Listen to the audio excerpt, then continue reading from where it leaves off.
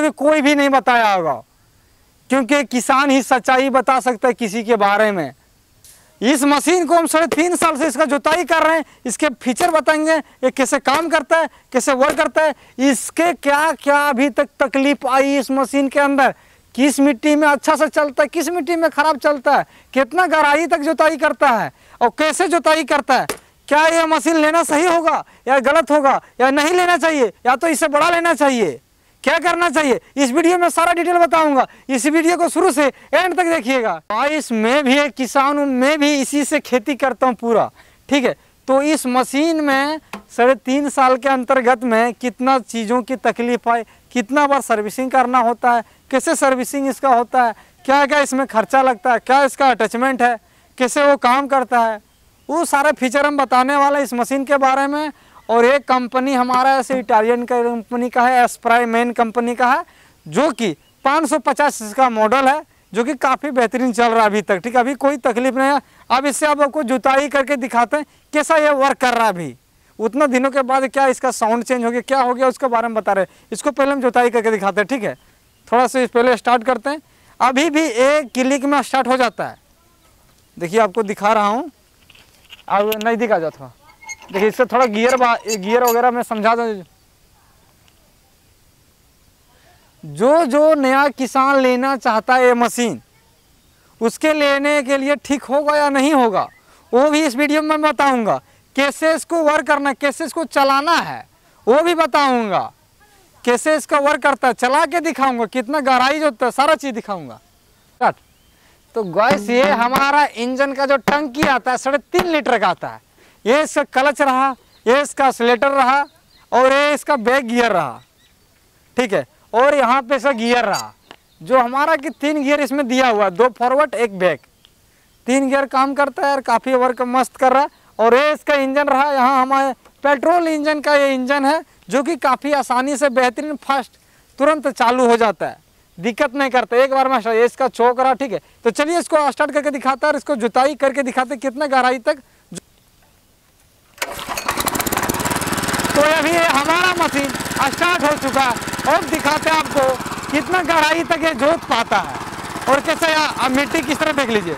अभी सूखा पड़ा हुआ, बंजर पड़ा हुआ, काफ़ी दिन से जुताई नहीं किया है, लेकिन इस मिट्टी में चला के दिखाएँगे। तो ये थोड़ा हमें असलेटर लेना होगा, ठीक है? चलाने के लिए, जो नया आदमी चला रहा है उसके लिए। थोड़ा सा हमें असलेटर लेना पड़ेगा। उसके बाद हम गियर लगाएँगे दो नंबर लगाएँगे। उसके बाद ये कलच है तो ऐसे दबाएँगे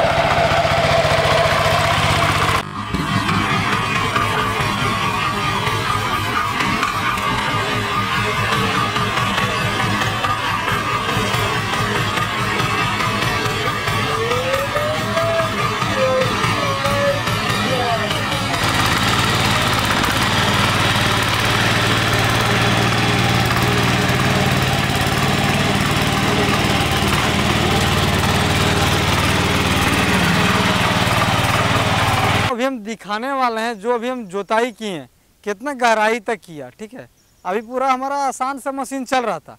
अभी दिखाते हैं, अभी इतना है ना, अभी देख रहे हैं। देखिए।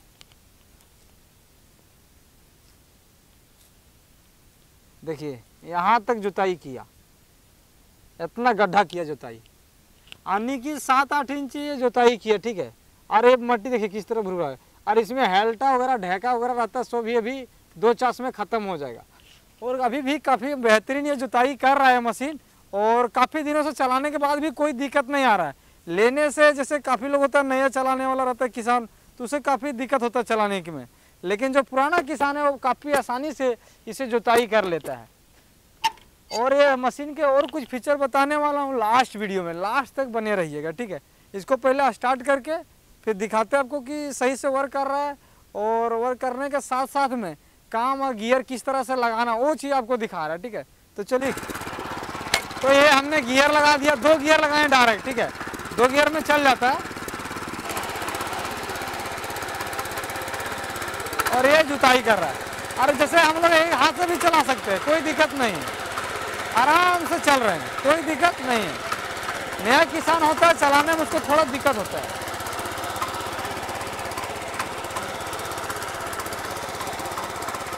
हमारा मशीन है अभी, जिस तरह से हम झारखंड के मिट्टी में अगर जुताई करते इससे तो काफ़ी आसानी चलते है। जैसे बहुत जगह काली मिट्टी होती है। तो वहाँ पे पता नहीं, लेकिन झारखंड में चलाने के लिए एक नंबर है। और इसका माइलेज की बात करूँ तो एक घंटा में एक लीटर खपत है। हम इस तरह से अगर जुताई अगर खेत में जुताई करते हैं तो एक घंटा में एक लीटर पी जाता है। लेकिन अगर बारी वगैरह में करते हैं, टैंक वगैरह में करते हैं तो एक घंटा में थोड़ा कुछ ज़्यादा माइलेज देता है। तो इस मशीन के बारे में ये जानकारी रहा। तो ये मशीन है, सो अभी के समय में लेना सही होगा। क्योंकि अभी जो जुताई कर रहा है मशीन है, ट्रैक्टर में थोड़ा काफ़ी महँगा पड़ जाता है। और ये जो हमारा मशीन अभी तीन, साढ़े तीन फीट की जुताई कर देता है। कहीं अगर ले जाना हो कम जगह तो इसको अंदर ले जाना काफ़ी आसान होता है। और ट्रैक्टर ऐसे जगह में हम नहीं जुताई कर पाते हैं, ट्रैक्टर से। काफ़ी दिक्कत होता है और वहाँ पे मतलब काफ़ी परेशानी होता है। और मशीन के द्वारा हम तुरंत जुताई करते हैं। जो हमारा खेत पाँच कट्ठा को जोतने में एक से डेढ़ घंटा लगता है, वो मशीन हमारा बीस मिनट में काम ख़त्म कर देता है। और जुताई भी इतना खतरनाक करता है कीचड़ भी बहुत मस्त बना रहा है। ऐसा नहीं कि कीचड़ मशीन नहीं बना पा रहा, बहुत आसानी से। इससे हम डोहट भी चलाते हैं, कीचड़ में आसानी से। इतना छोटा इंजन देख रहे हैं ना, इसको हम जुताई करते हैं, कीचड़ में भी चलता है बहुत मस्त।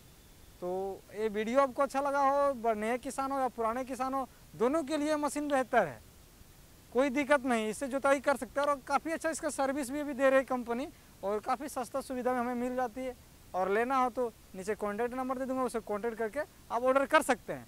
आई होप ये वीडियो आपको अच्छा लगा होगा। वीडियो अच्छा लगा होगा तो वीडियो करें लाइक और अपने दोस्तों के साथ, जो किसान उसके साथ शेयर ज़रूर कीजिएगा, ताकि इसके बारे में पता चल पाए कि कैसा मशीन है, कैसा ये काम करता है।